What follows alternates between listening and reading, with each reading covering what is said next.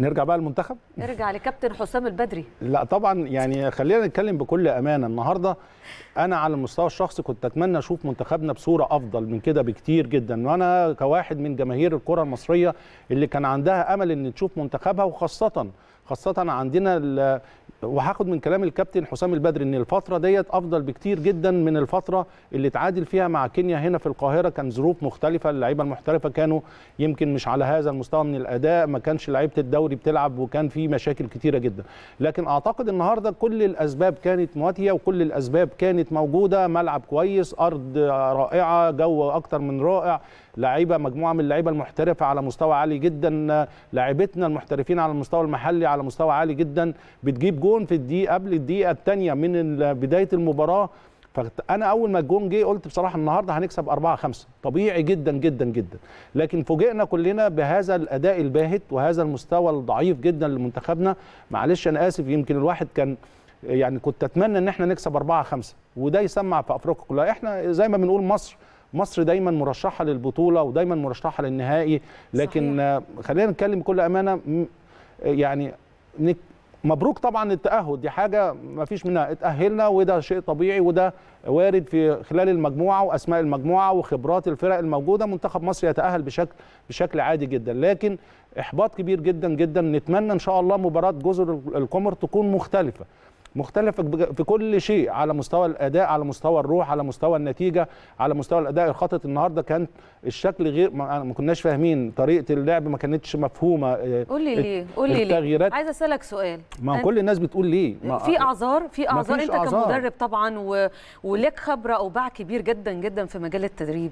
ب... بتدي أعذار لكابتن حسام البدري؟ يعني مثلا النهارده آه، ممكن يكون ال- المحترفين ما كانش فيه فرصة كبيرة جدا المحترفين يتجمعوا. كان مثلا أنت النهارده بتلاعب فريق غير مصنف فاللعب كان على القد خاصة من قبل المحترفين. أنت النهارده كنت قبل الهوا كنت مستغرب. من عدم نزول النني. لا. فممكن تكون يكون ليه بصي- في في عذر في أعذار؟ لا له أنا أنا أنا في وجهة نظري مع إن أنا كنت في موقف زي ده قبل كده كنت آه. يمكن مساعد مش المدير الفني بتفرق شوية. كان الأداء مهتز شوية لكن أنا بالنسبة ال- القماشة اللي موجودة عندنا لاعبتنا المحترفة على أعلى مستوى صلاح جايب معنويات عالية جدا هداف الدوري الإنجليزي. علامه الاستفهام إيه؟ ليه النني ما لعبش؟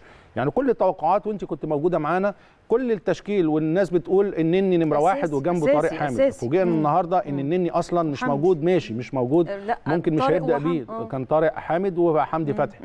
طيب حتى بعد التغييرة الأولى ما نزلش نزل عمرو السولية. وحتى بعد ما طارق حامد اتعور أو أو خرج فوجئنا عمر جابر. يعني عمر جابر لعيب كويس لكن النني مش موجود ليه؟ دي كانت علامة استفهام في التغييرات. على مستوى تخيلوا على مستوى الاستاتيك لما بنقول منتخب مصر. في هذه المباراة شاط ثلاث كور منهم واحدة ما بين الثلاث خشبات إن المنتخب الكيني 15 تسديدة على مرمى الشناوي تز- 15 تسديدة منهم خمسة ما بين القائم والعارضه يعني يا دوبك الرقم ده يدل آه، حتى على مستوى الكورنرز على مستوى الضربات الثابتة. فعايز أقول إن النهارده يعني اعتذارا طبعا لو بنتكلم بشكل دوت لكن إحنا دايما بنحب منتخبنا وبنحب ان نشوفه في أحسن صورة. النهارده أعتقد بنقول مبروك على المكسب للوصول لنهائيات وحسمنا طبعا المجموعة أو إن شاء الله يعني نحسمها إحنا أول المجموعة بشكل كبير. لكن علامات استفهام كبيرة جدا على الأداء. نتمنى إن شاء الله بإذن الله إن مباراة جزر القمر تشوف أداء أفضل نشوف نتيجة كبيرة إن شاء الله نشوف كورة نحب نتفرج عليها من منتخبنا إن شاء الله الفترة ده اللي يخلينا نسأل سؤال الفترة اللي جاية محتاجة إيه؟ يعني ده سؤال مهم جدا جدا لازم يوجه لضيوفنا اللي هيشرفونا كمان دقايق.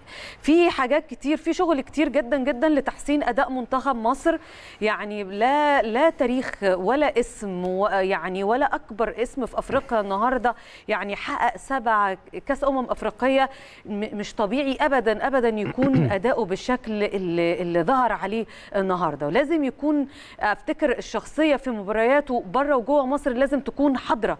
اللعيبة لازم تقعد مع نفسها لازم تعرف إن كأس الأمم حاجة تانية غير التصفيات. يعني أنت النهارده بتلاعب منتخبات كبيرة جدا أو هتلاعبها في في قارة أفريقيا. لو الأداء بالشكل ده فالفترة اللي جاية هتكون من أصعب من آه، أصعب فعلا ما يكون. فعلا يعني أصعب النهارده الناس بتتكلم لو كنا بنلاعب منتخب زي الجزائر أو منتخب المغرب أو مثلاً. منتخب آه، غانا أو كوت ديفوار أعتقد كانت هتبقى مشكلة كبيرة جدا. تاني مبروك التأهل لكن إن شاء الله بإذن الله نتمنى وعندنا إن شاء الله كمان لسه ثقة بإذن الله إن كابتن حسام البدري يتدارك هذه الأخطاء ويظهر شخصية منتخب مصر الحقيقية إن شاء الله في مباراة جزر القمر